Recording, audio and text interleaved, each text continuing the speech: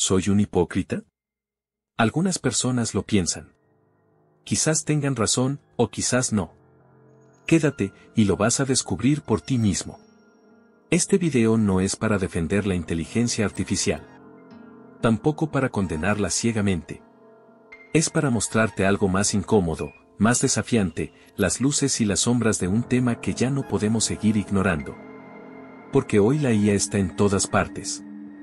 Ya no se trata de si la usas o no. La verdadera pregunta es, ¿quién decide? ¿Para qué se usa? ¿Y a costa de qué? La inteligencia artificial despierta todo tipo de reacciones, fascinación, miedo, rechazo. Algunas personas la ven como el futuro brillante. Otras, como una amenaza directa al presente. Y no es para menos. Cada vez más, la IA se integra en motores de búsqueda, sistemas operativos, aplicaciones, publicidad e incluso decisiones médicas o legales. Y con eso surgen preguntas que no podemos ignorar, ¿a dónde van tus datos? ¿Quién entrena esos modelos? ¿Qué sesgos arrastran? ¿Y quién los controla? Una IA no piensa. Solo predice palabras basándose en millones de datos previos. El cerebro de una IA se llama modelo, y es entrenado con textos, imágenes, audios, código, muchas veces sin permiso. Cuando usas herramientas como ChatGPT, Bard o Copilot, todo lo que escribes viaja a sus servidores. Ellos procesan, responden y almacenan quién sabe qué. ¿Tienes control sobre eso? No. ¿Sabes exactamente qué hacen con tus datos? Tampoco. Un peligro real que muchos no ven es que, al usar plataformas como ChatGPT, tus datos pueden quedar expuestos. Hackers y atacantes están constantemente buscando formas de acceder a esa información, y aunque las grandes empresas prometen protegerla, nadie está completamente a salvo. Ya han ocurrido filtraciones de datos en compañías tecnológicas multimillonarias. Por eso muchos usuarios preocupados por su privacidad, especialmente dentro del mundo Linux y del software libre, desconfían de estas tecnologías y con razones válidas, no quieren depender de servidores externos ni ceder el control de su información personal. Pero sería deshonesto decir que la inteligencia artificial no sirve para nada. Tiene usos reales, positivos y hasta revolucionarios, detectar curas para enfermedades, crear prótesis inteligentes para personas con discapacidad. Ayudar a aprender, traducir, escribir, programar. La pregunta no es si la IA es buena o mala la pregunta correcta es, ¿cómo se usa? ¿Quién la controla? ¿Y con qué propósito? Por eso quiero mostrarte ahora una herramienta diferente, pensada para quienes realmente valoran la privacidad y el control sobre sus datos. ¿Se puede usar inteligencia artificial sin depender de una empresa gigante, sin conexión y sin que te espíen? Sí. Y es más fácil de lo que crees. En Linux existe una aplicación libre llamada Alpaca se instala desde la tienda de aplicaciones con un solo clic, igual que cualquier otro programa. Pero para que esta app funcione mejor, instala el complemento Lama y, si tienes una tarjeta gráfica AMD, también este. Se instalan con un solo clic, como te muestro aquí. Una vez instalada, Alpaca te permite descargar un modelo. Y si eres nuevo en esto, no te preocupes, un modelo es simplemente el archivo que contiene el cerebro de la IA. Es lo que determina lo que la IA puede entender, responder y hacer. Cuanto más grande es ese modelo, más capacidad tiene. Pero también exige más recursos de tu computadora. Si tu equipo es modesto, puedes empezar con un modelo liviano. Y si cuentas con una buena GPU o procesador, puedes descargar algo más potente.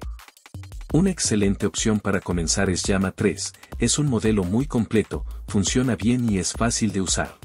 Por ejemplo, si eliges Llama 3 Vision, también tendrás funciones como reconocimiento de imágenes. Pero no te preocupes, no necesitas complicarte, si tu computadora es relativamente actual, la versión normal de Llama 3, como la de 2 GB, es más que suficiente y funciona muy bien. Cuanto más liviano sea el modelo, más rápido responderá. Eso sí, ten cuidado con los modelos muy pesados, pueden hacer que tu computadora se ponga lenta al usarlos y consumir mucho del procesador.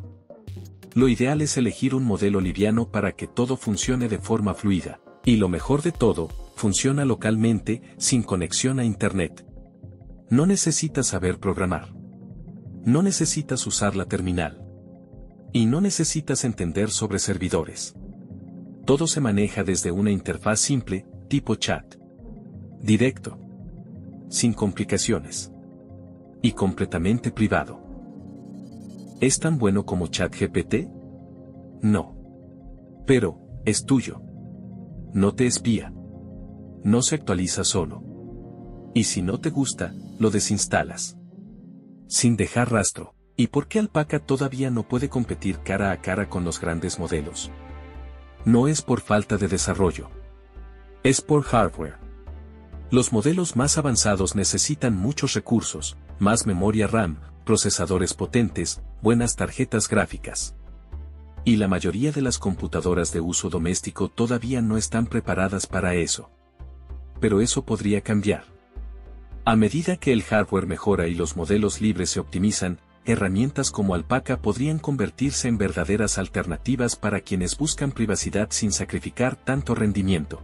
Por otro lado, hablando de las alternativas no privadas, aunque hay aspectos de ChatGPT con los que no estoy de acuerdo, reconozco su utilidad. Por ejemplo, en mi video sobre Battles, donde explico cómo ejecutar aplicaciones de Windows en Linux, utilicé ChatGPT como una herramienta didáctica, para mostrarles a los principiantes cómo identificar qué faltaba instalar para que todo funcionara correctamente. No es que yo lo necesitara realmente, sino que quise mostrar un ejemplo útil para quienes recién empiezan a usar Linux. Puedes usar ChatGPT para complementar Alpaca y aprovechar lo mejor de ambos mundos. Se trata de encontrar un equilibrio, usar lo que funciona, sin perder el control ni la privacidad. Ninguna herramienta es perfecta, pero si sabes combinarlas, puedes construir soluciones más completas y auténticas. Y ahora, la pregunta más incómoda, ¿qué es real hoy en Internet? Ya existen canales con avatares generados por IA que cuentan historias, resumen noticias o hacen tutoriales y aunque todavía no se puede simular un ser humano perfecto en video. ¿Sabes si el guion lo escribió esa persona o lo generó una IA? ¿Grabó esa persona o fue editado por alguien más? ¿Es real, o es solo una fachada digital? Incluso canales que antes se mostraban como 100% humanos hoy usan textos escritos por terceros. O directamente por una IA. Y muchas veces nadie lo nota. Por eso, más allá de lo que se ve, lo que realmente importa es si te dicen la verdad sobre cómo lo hicieron. Porque la única certeza en Internet será la confianza. Por eso estoy activo en la comunidad todo el tiempo. Respondo, Leo, porque quiero ganarme tu confianza. De verdad. Y si no lo logro, al menos quiero dejarte algo, que te cuestiones. Que aprendas. Que descubras algo nuevo. Porque eso, para mí, es lo más importante, sí, la voz que estás escuchando es sintética. Pero lo que dice es mío, mis ideas, mis experiencias, mis errores.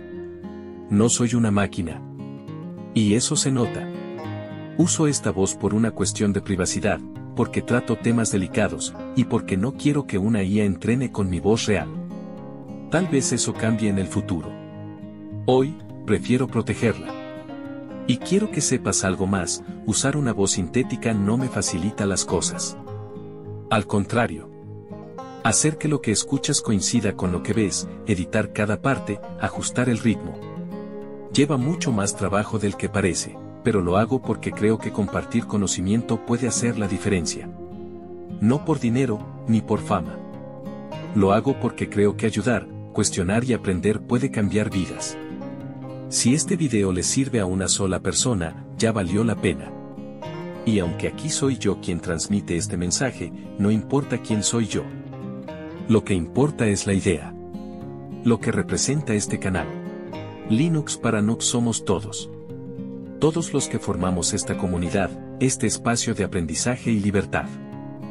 La inteligencia artificial no es buena ni mala. Es una herramienta, y como toda herramienta poderosa, puede liberar o puede esclavizar. El verdadero problema no es la tecnología. Es quien la controla. Y cómo la impone.